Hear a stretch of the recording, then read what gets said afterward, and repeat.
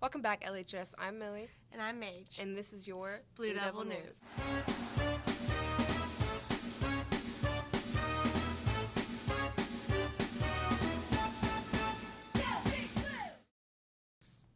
Sophomores, juniors, and seniors, the due date for National Honor Society applications is Friday, September 30th.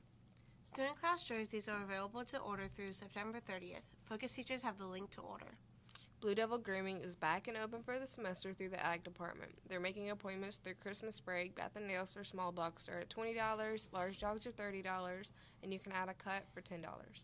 The junior class is selling crew neck sweatshirts and stickers until tomorrow. Stu- orders can be placed at the bank or at room B305. The first LHS BioSTEM Club meeting is this Thursday, September 29th, after school in room B324. Anyone who's interested in BioSTEM is welcome.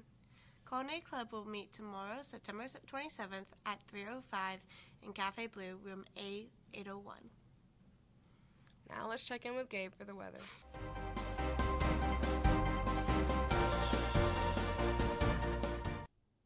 Thanks, Millie Mage. Today's high is 75 with a low of 43. Tomorrow's high is 73 with a low of 41. That's all from where? Back to the M&M.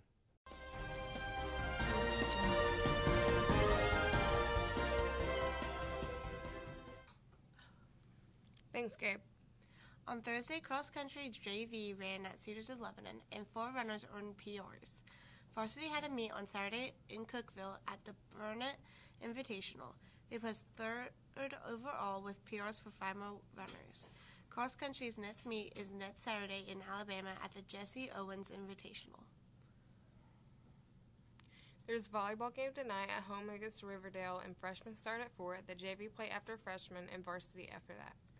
Girls soccer plays tomorrow at home against Wilson Central at 6 p.m. And there is a football game on Friday at Shelbyville. The student section theme is Red Out. That's all the news we have today, LHS. I'm Millie. And I'm Mage, and this has been the news to you from, the, White and Blue.